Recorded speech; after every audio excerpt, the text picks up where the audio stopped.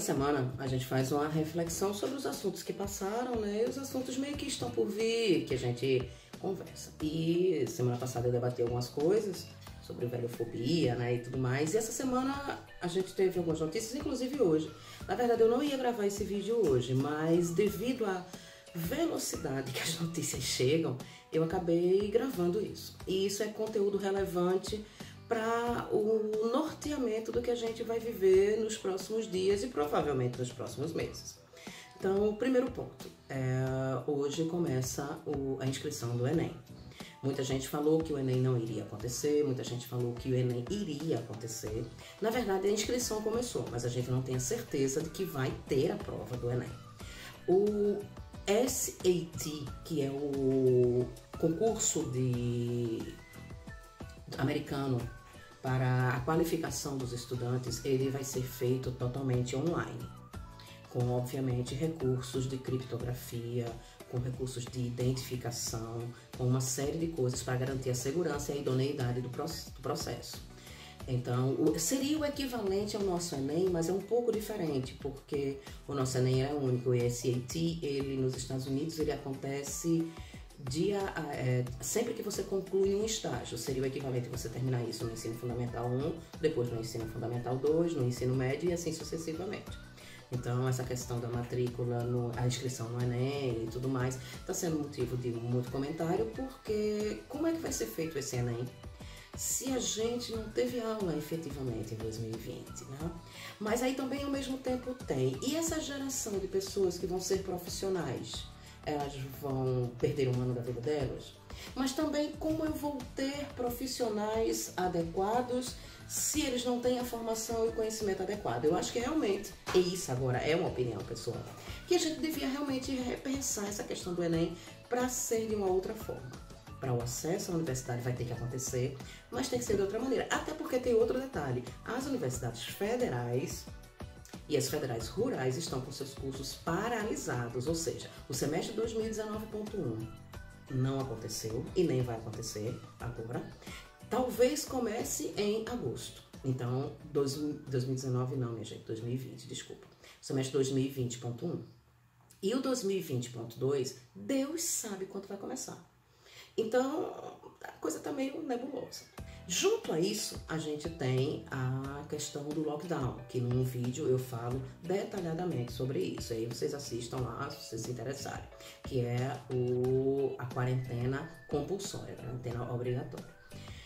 O Ministério da Justiça e o Supremo Tribunal Federal concordaram nesse caso de solicitar o, lockdown. Entretanto, aqui em Pernambuco não foi aprovado, né? Então a gente não vai ter lockdown. Mas Hoje, aliás, hoje não, nesse instante eu li uma notícia sobre o que chama de rodízio.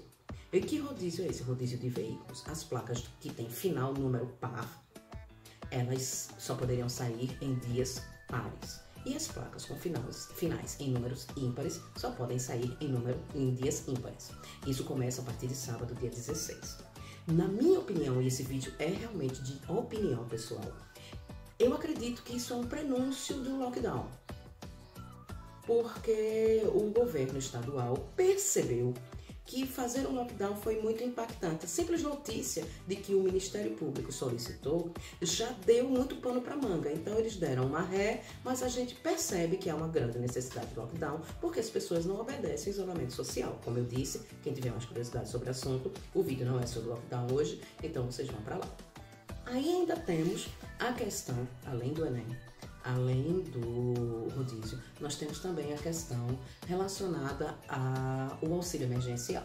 Saíram as datas da segunda parcela e saiu também a aprovação para que não sejam apenas três parcelas, e sim um número superior, que não tem previsão de acabar.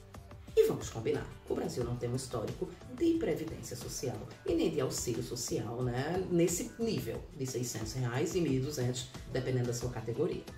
Na minha opinião, como sempre, né, como eu estou enfatizando hoje, acredito eu que isso é um sinal de que nós teremos um lockdown ou algo semelhante e que teremos sim, e não temos nenhuma previsão de cuidados com relação ao coronavírus.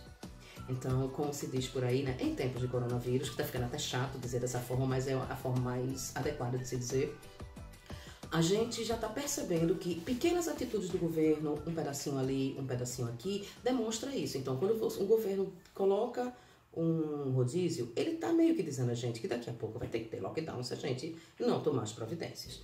Quando o governo federal aprova no Congresso e em outros lugares a questão do auxílio emergencial indefinida, o número de parcelas, também se denota que tem um problema nesse aspecto. As aulas também já foram ditos que não tem retorno imediato. Então a gente começa a ter alguns problemas relacionados a isso, porque as pessoas estão assistindo online. E é aí que entra um terceiro ponto. Eu li muito, assisti muita coisa hoje pela manhã.